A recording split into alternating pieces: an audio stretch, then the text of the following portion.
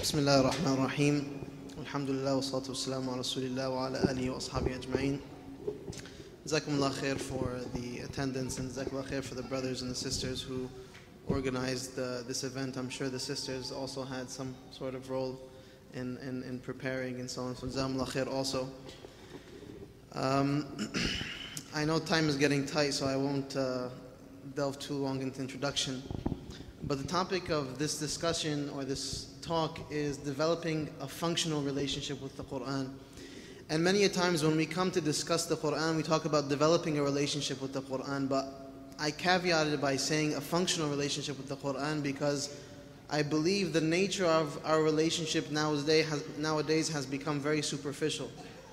And we do have some level of relationship, but it's not the relationship that's transformative. It's not the relationship that the Sahaba alayhim had with the Quran. So the hope, inshallah, is that we're able to arrive at a point where we develop a relationship that enables us to embody those elements and those, that spirit that the Sahaba had, and with the Prophet ﷺ at their helm. So, first and foremost, we have to appreciate the notion that we've developed barriers based on bad habit over years. That historically, or even up until today, the Quran has become a text that we simply use as a talisman, astaghfirullah, or we might put on the shelf and we might keep it there and dust it off every once in a while, or here and there we'll read it, pick it up, maybe read it. We come to the masjid a little bit early, we'll pick it up and read it. And there are some of us who even, mashallah, memorize the Quran, and memorizing the Quran is one of the best and greatest pursuits an individual can do in their life.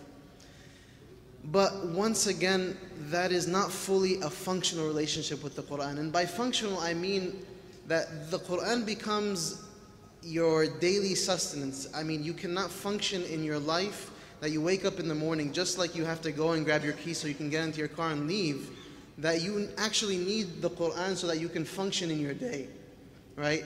And not simply something that you return to here and there and you pick it up and you and you kiss it and uh, and it's very nice and all these notions that have just become very materialistic in nature and superficial at times right so we want to understand how can we delve deeper and develop something that's more entertaining and functional and and and vital so first and foremost and as my sheikh in one of my shuyukh in Egypt rahimahullah actually just passed away this morning I found out Allah yarhamu uh, he passed away, he was 94 years old, and um, he's a mufassir. He wrote an, entire tafsir called Fath al-Rahman, Sheikh Abdul Minim Ta'alib. I don't know if any of you are here, have heard of him, but he's one of the most revered scholars in Egypt, and he's a very well-respected scholar.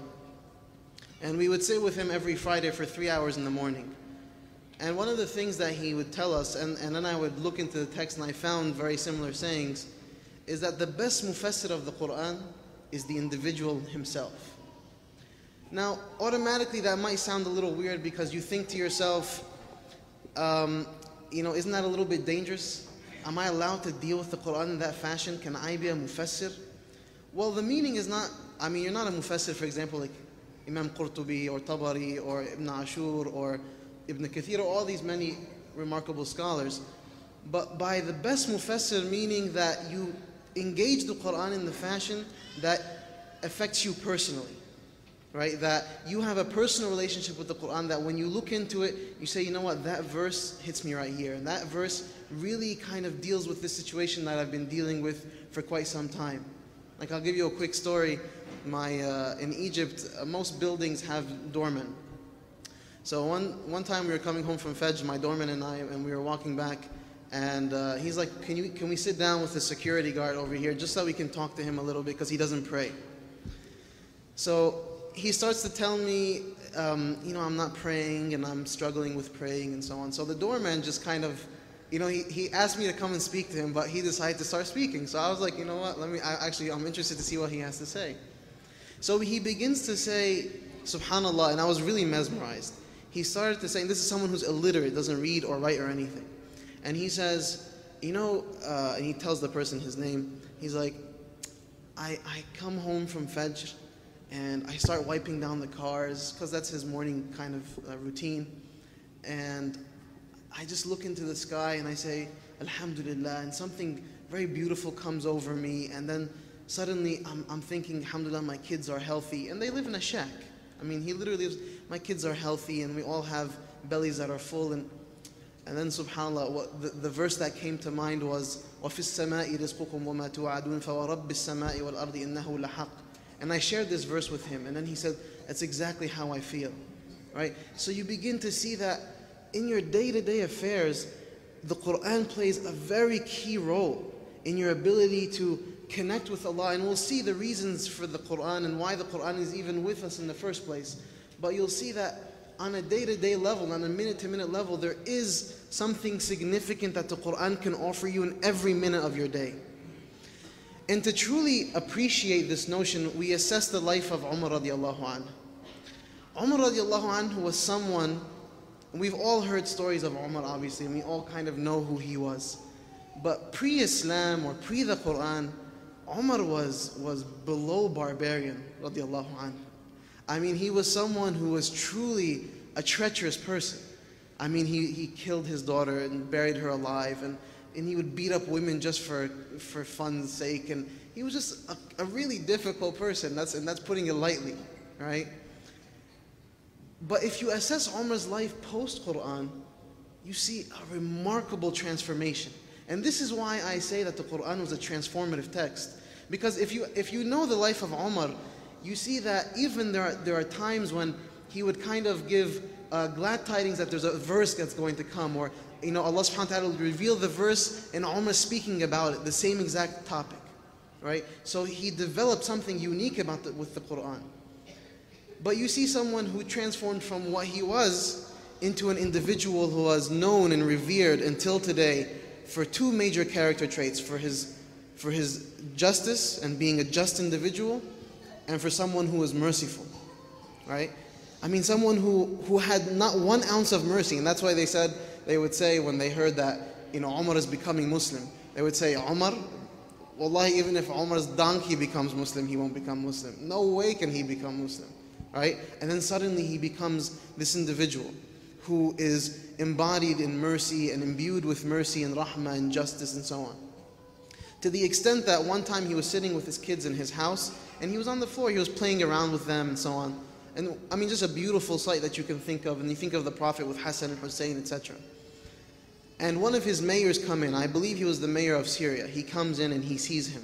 And, uh, and he looks at him and he's like, you know, Sayyidina Umar radiallahu anh, he says, what are you doing?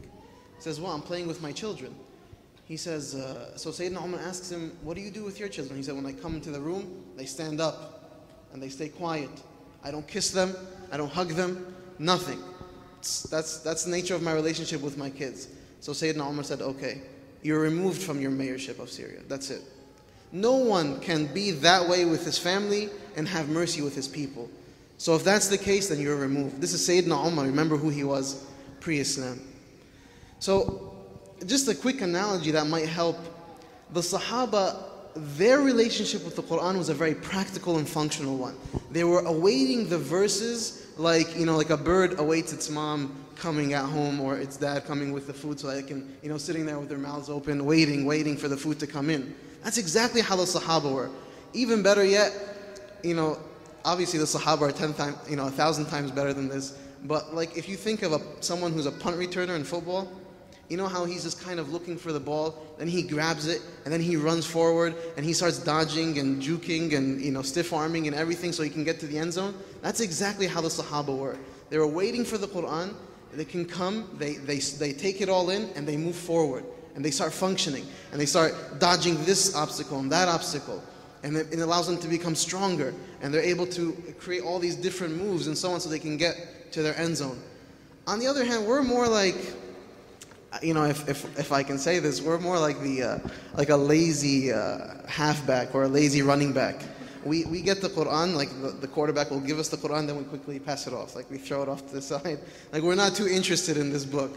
I'm not, I mean, just get away from it. Give us, let someone else run with it, right? Whereas they were fully capable of appreciating the Quran and the transformative nature of the Quran. So Let's just quickly talk about the Quran speaking about the Quran, like what Allah subhanahu wa ta'ala says in the Quran about the Quran. He says, number one, it's ruh, it's a spirit. وَكَذَلِكَ أَوْحَيْنَا إِلَيْكَ رُوحًا مِّنْ أَمْرِنَا Right? That we have revealed to you a spirit from our affairs. And it's shifa, it's healing. Right? وَنُنَزِّلُ مِنَ الْقُرْآنِ مَا هُوَ وَرَحْمَةٌ Right? The Quran is, is healing and He's revealed to us this healing and this mercy. Right? The Quran is huda it's guidance. Alif Lam Mim ذلك الكتاب لا ريب فيه هدى للمتقين. The Quran is nur. كتاب أنزلناه إليك لتخرج الناس من الظلمات إلى النور. Right? The Qur- so if we think of all these notions and then we think of our lives in the Quran, so we think the Quran is ruh, the Quran is spirit, the Quran is healing, the Quran is guidance. These are all factors that we would wish to have in our day to day lives. That as we're progressing and we're dealing, that we're being guided. And Allah subhanahu wa ta'ala is healing us and we're imbued in light and, and so on and so forth. The Prophet ﷺ, let's see what the Prophet ﷺ in a hadith has to say about the Quran. He says, اقرأوا القرآن فإنه يأتي شفيعا يوم القيامة. Read the Quran for it truly comes as an intercessor on the day of judgment. The Quran, if you, if you have a relationship with the Quran, it'll come in and it'll intercede. And it'll say, Ya Allah, Abdak, this servant of yours, he had a relationship with me. Right? So please. And then the Prophet said another hadith. He says, مثل الذي يقرأ القرآن ومن لم يقرأ القرآن كالحي والميت.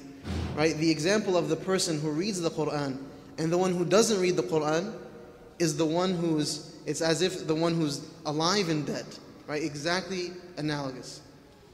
So Khalid, ibn, interestingly enough, Khalid ibn Walid, when he heard this hadith and he remembered the ayah of وَكَذَلِكَ أَوْحَيْنَا إِلَيْكَ رُوحًا مِّنْ أَمْرِنَا he said to himself, Subhanallah, this is when I'm talking about practical, functional relationship. They, they didn't just listen and they didn't just sit there and Bismillah ar-Rahman, Alhamdulillah, what we do with the Quran. And, and we sit down, we do hifd. Okay, I have to do hifd quickly because my shaykh is coming and he's gonna, my father's going to beat me up if I don't do my hifd today.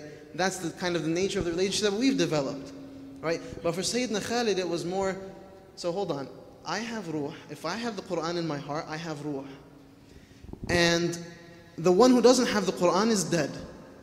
So he combined the ayat and the hadith and he says, SubhanAllah, when I go onto the battlefield, I am someone who's alive.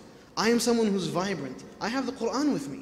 And he's not saying it arrogantly the way we do today because we come out and we're so, we're arrogant by default for some reason. We think that because we're Muslim, we're automatically arrogant and we can put ourselves above and beyond the rest. That's not the case for a Muslim, for a true believer. Right? And, and just, I mean, as a side note, it just came to mind, but Abu Ala Mawdudi, rahimahullah, he says something very interesting. He says, Are we truly Muslims so that we can call others kuffar? You know, do we, do we really truly embody the true essence of a Muslim so that we can actually call someone else that you're a kafir? Right? Have we, have we, have we presented a true example of Islam? So it's something to think about. So, because I know time is running short, I just I'll skip over a few things. I want to actually get into what the purpose of the Quran is, and I'm not going to get into discussion of the scholars over this and names of scholars because this is not the time for it. But just give you a, a, a, a sum um, or a kind of a, a quick reflection on what the Quran and the purpose of the Quran is. So the scholars over the years have discussed this and they've said they've kind of boiled it down to three things. They say number one, the Quran is for purposes of tawheed, right? Knowing who Allah subhanahu wa ta'ala is. Number two, tazkiyah, purification, your ibadah, your heart, right? That's the second major purpose of the Quran. And three is imran, is development, building, your path in this life, how you function, how you live in this life. So if you look at, for example, Surah Al-Nahl, and you want to take number one, Tawheed, you read Surah Al-Nahl to see the blessings of Allah subhanahu wa ta'ala upon us. Go read Surah Al-Nahl and really reflect upon the blessings of Allah. And just a quick note, if you cannot read the Quran in Arabic, it's not a problem.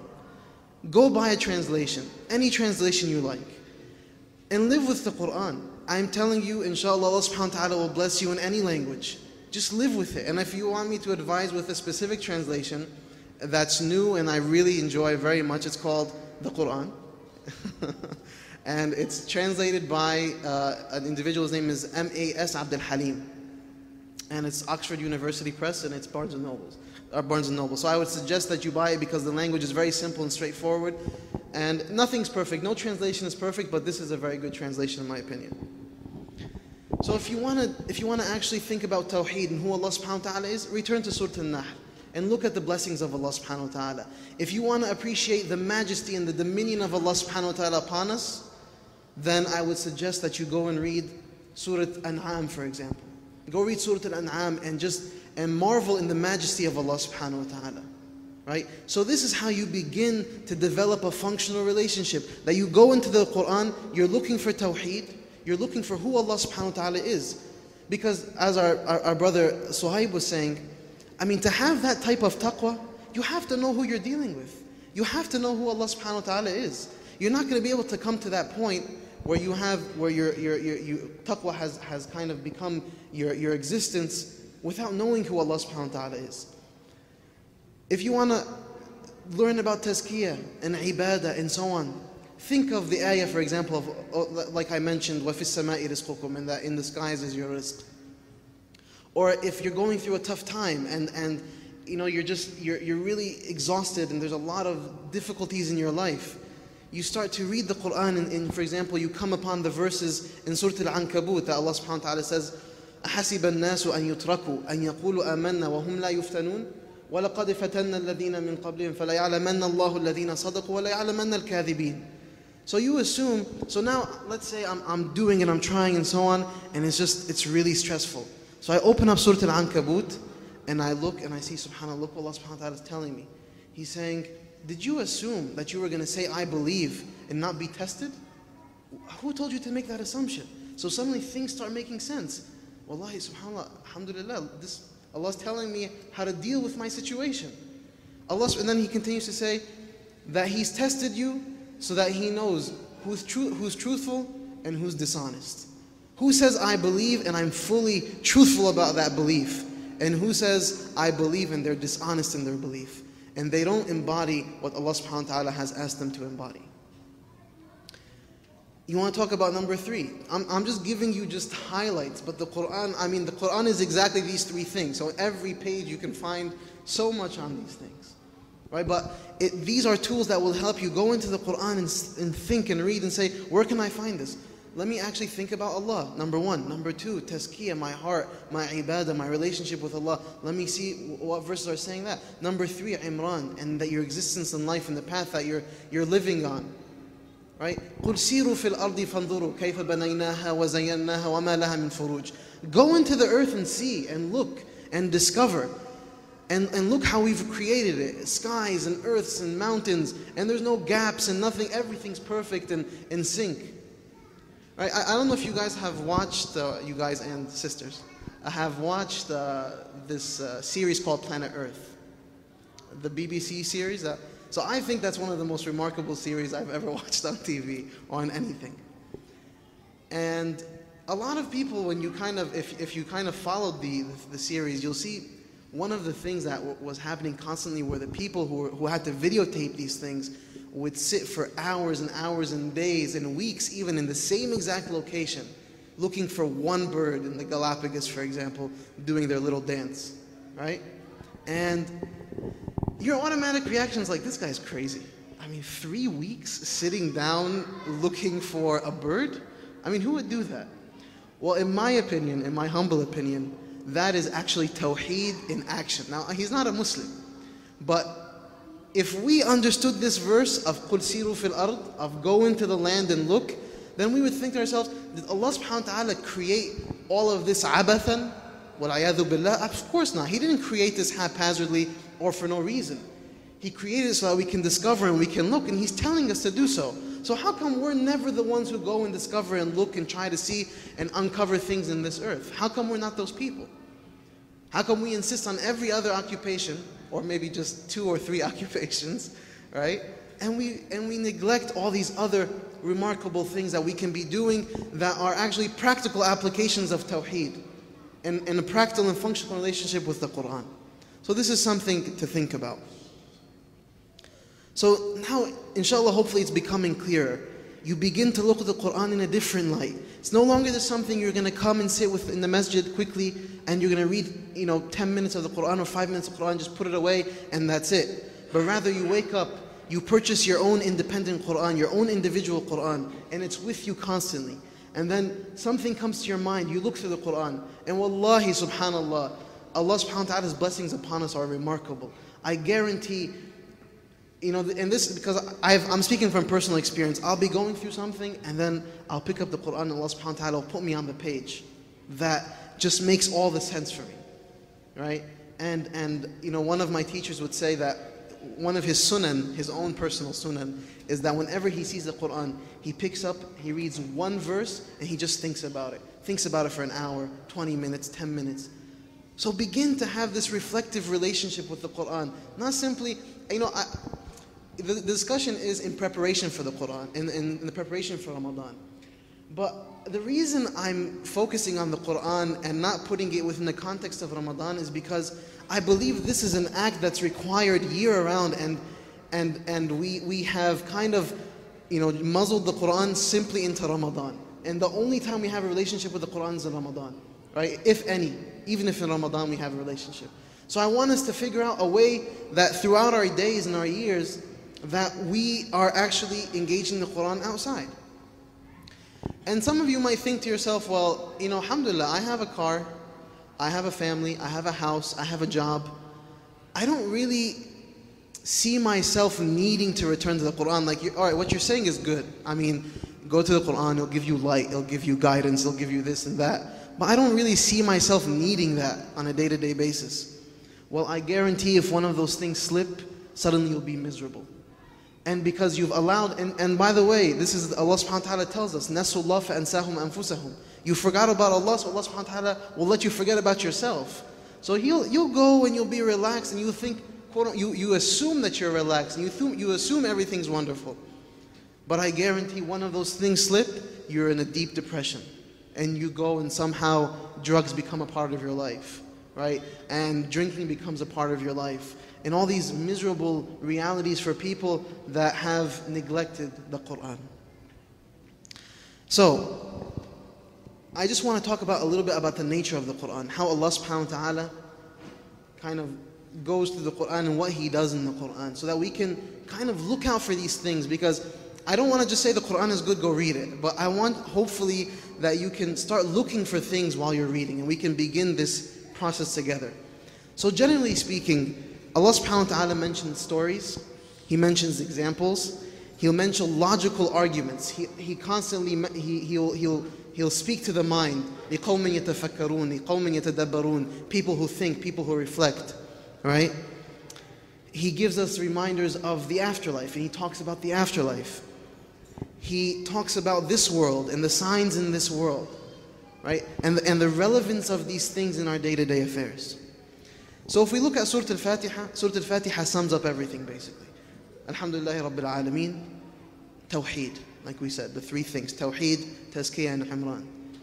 Number two, Tazkiyah, Ihdina, Ihdina Ya Rabb, Ihdina, guide us Ya Allah. Right, there's Tazkiyah. Sirat Al-Ladhina An'amta, the path, the path, Alladhi An'amta Alayhim. What was that path? What was that Sirat Al-Mustaqim? That was the path of the Sahaba. What was the path of the Sahaba? It was a practical, functional path where they were creating and developing and being involved and going and going to different regions and trying to grow and trying to grow Islam. Islam wasn't simply this, this uh, you know, uh, thing that I did in the masjid here and there, but rather it was an existence that I lived with in my everyday life. We look at Surah Al-Baqarah, for example.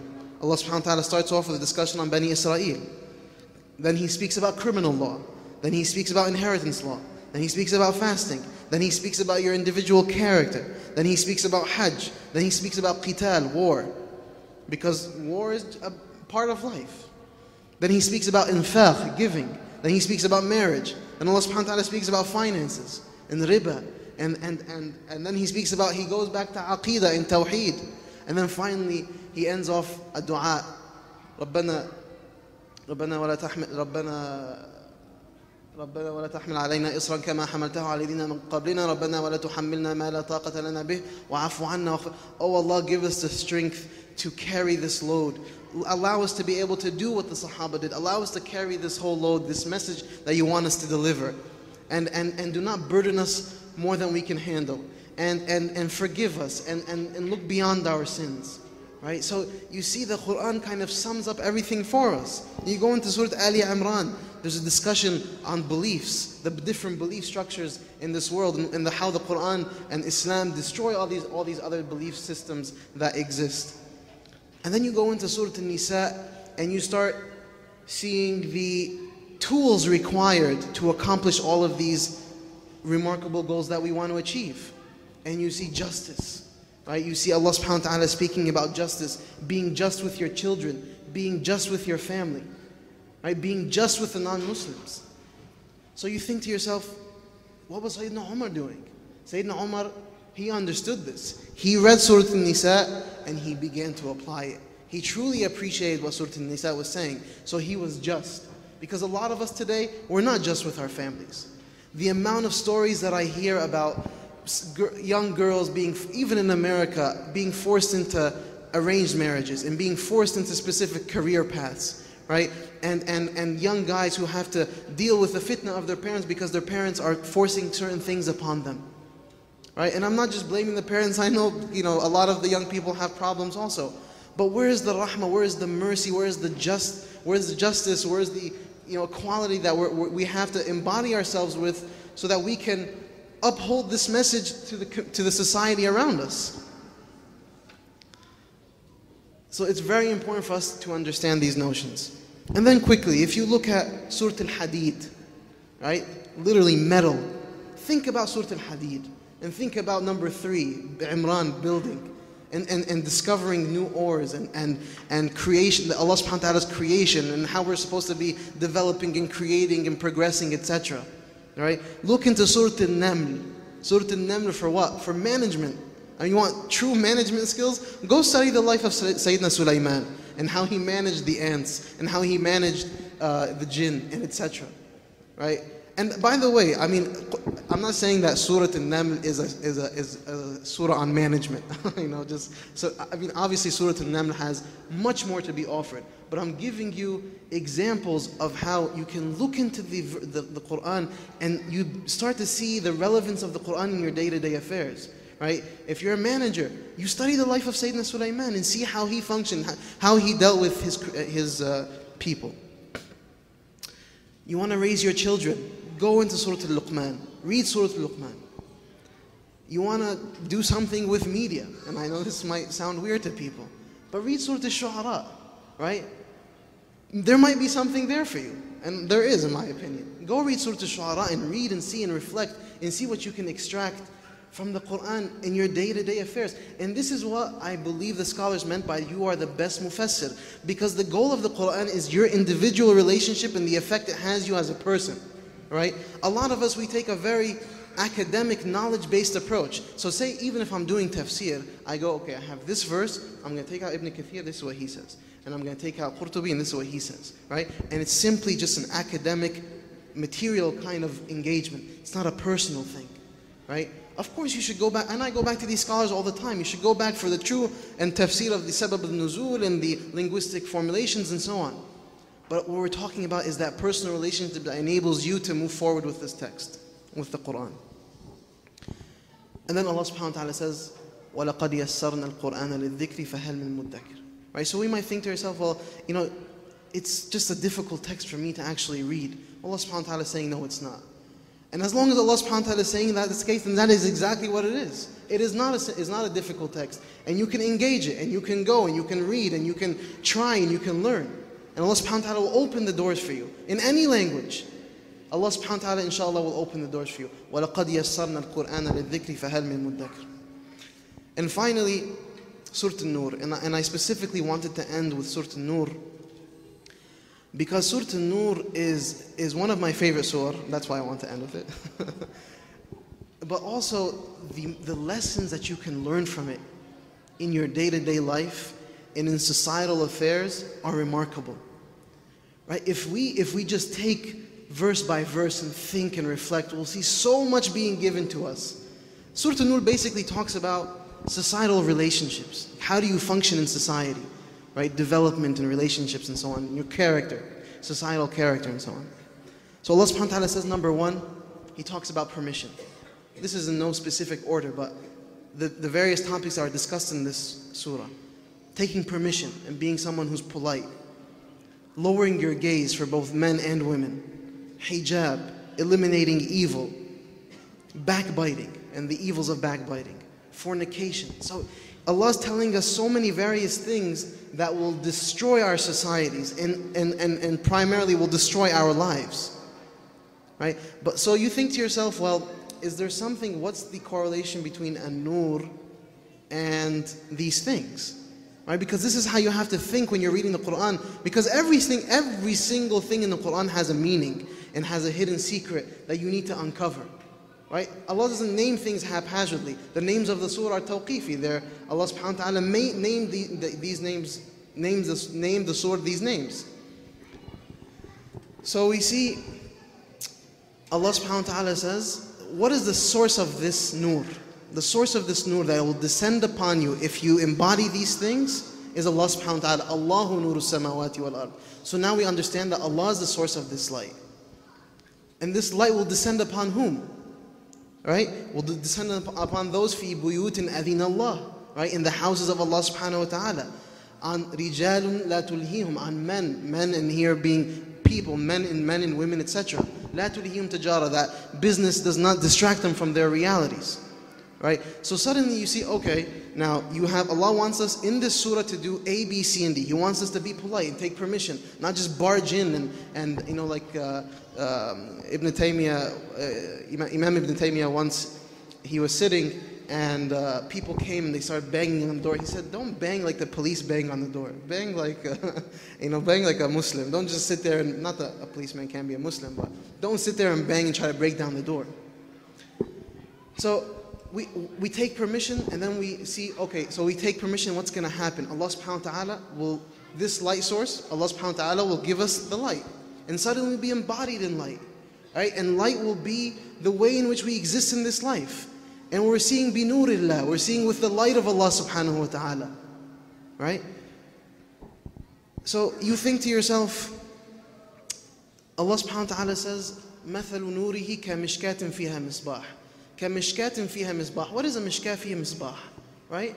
A mishkah فيها مصباح is basically a light source that's in a wall that's, that's lit. It's lit with a candle or whatever. Can a candlelight go out? Yes, it can go out. Now, Allah subhanahu wa ta'ala's light will never go out. That's Allah subhanahu wa ta'ala. But the light that He gives us, can it go out? Yes.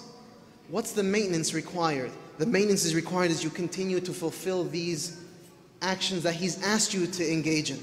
And you continue to embody them, etc. That is the only way that you'll have this light continuing. So you see that there's a connection between the name of the surah and then the actions required within the surah. And then Allah subhanahu wa ta'ala, and the whole equation becomes clear. And then Allah subhanahu wa ta'ala says, and if you don't do these things, and I just went through a very blunt and quick explanation of the surah, but go in and, and spend all the time you want. Because wallahi, you'll probably come out with more gems than I can. Allah subhanahu wa ta'ala says, if you don't do all this, ظُلُمَاتٌ بَعْضُهَا فَوْقَ بَعْض. Right? Just compounded darkness darkness upon darkness upon darkness, and you'll be depressed and sad and decrepit and do, going in a direction that's just miserable. Because what? وَمَنْ أَعْرَضَ عَنْ ذِكْرِي فَإِنَّ لَهُ مَعِيشَةً ضَنْكَ Whoever rejects my dhikr, and the best form of dhikr is what? Is what? Dhikr. The best form of dhikr is what? The Quran. وَمَنْ أَعْرَضَ عَنْ ذِكْرِي فَإِنَّ لَهُ مَعِيشَةً ضَنْكَ The one who rejects my dhikr, my Quran, he will have a miserable life. So with that, inshallah, the month of Quran is upon us. And I'm, I mean, that's it, I'm closing. But I'll repeat myself. The message is the Quran in and outside of Ramadan. There's undoubtedly, there's a secret Allah subhanahu wa ta'ala revealed to us the Quran in the month of Ramadan. So the month of Ramadan is the month of the Quran. And the month, month of Ramadan is, is, is raised high because the Quran was revealed upon in it. So if there is any moment, and you have 11 days before, or 11 or 12, whatever, days before Ramadan starts, Take these moments to begin this relationship so that when Ramadan comes, you can maximize. I'm telling you right now, just spend five, ten minutes a day. Not more, not less. Five, ten minutes. But sit down and actually read. Go buy a translation for those who, who can't read the Arabic. Go buy a translation and sit down and live with those pages for 10 minutes or 5 minutes. And, and beg Allah subhanahu wa ta'ala that He showers you with huda, with mercy, with guidance, with healing, with nur. And we ask Allah subhanahu wa ta'ala that He enables us to develop this relationship in our lives and that He allows the Quran to become a functional reality in our day to day affairs. And we beg His forgiveness. And if anything that was said was beneficial, then either from Allah subhanahu wa ta'ala, and anything that was said that was inappropriate or wrong is from my uh, weaknesses and my mistakes as uh, a creature. So we ask Allah subhanahu wa ta'ala to guide us to what is best. Wa jazakumullah khair. Assalamu alaikum wa rahmatullah.